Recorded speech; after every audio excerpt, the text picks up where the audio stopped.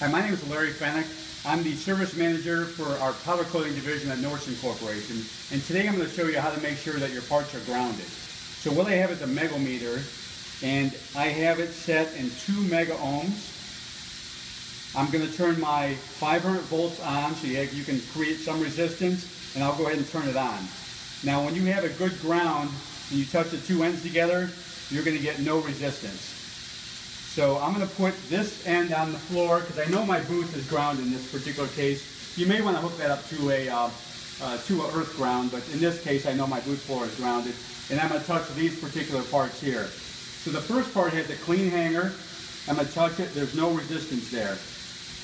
The second one has about 400,000 uh, ohms of resistance. So I do have some resistance here. Anything under one mega ohm is okay. So this is still a good part. And then my third one has infinite resistance, so this part is no good. So again, no good, no, not a good ground.